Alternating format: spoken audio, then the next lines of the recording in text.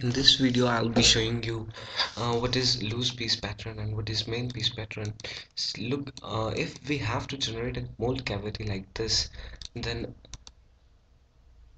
pay attention that this part this part of the pattern will create obstruction while uh, while we'll be taking out this pattern out of the out of the mold uh, sand mold. So what we'll do to resolve this problem is uh, we'll uh, we'll divide this pattern into two parts. First this is main pattern and we'll name this as loose piece pattern. That that pattern is known as loose piece pattern. Now let us see what we'll do uh, what we'll do while uh, while making a sand mold for a loose piece pattern. First of all like always we'll take this mold board and at this we'll place drag in upside down position like this. So we have placed this drag uh, drag portion of the flask. Now what we'll do is we'll uh, we'll place the main pattern here uh, in this on this mold board within this molding flask like this. See here we have placed main pattern inside the flask. Now what we'll do is we'll place a loose piece pattern here using we'll hinge that using a pair it, like it's like this.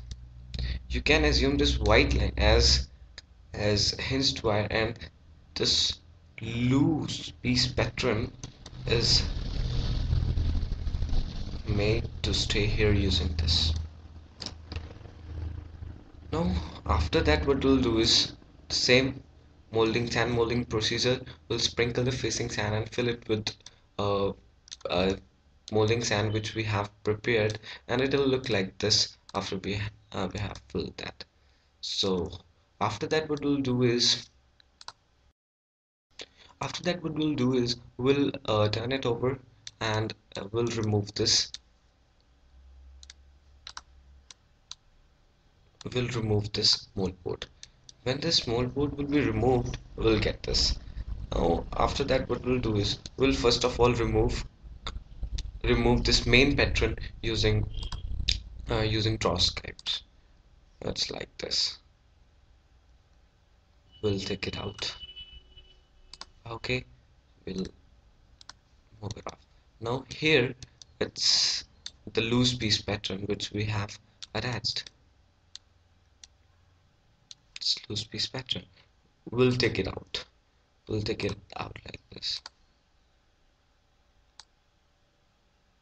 take it out like this and we'll move it on.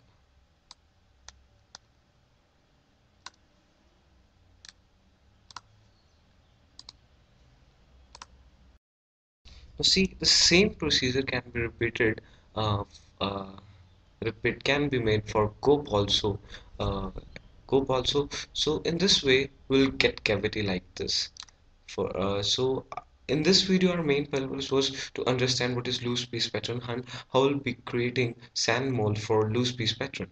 So here we have created that mold cavity. Thank you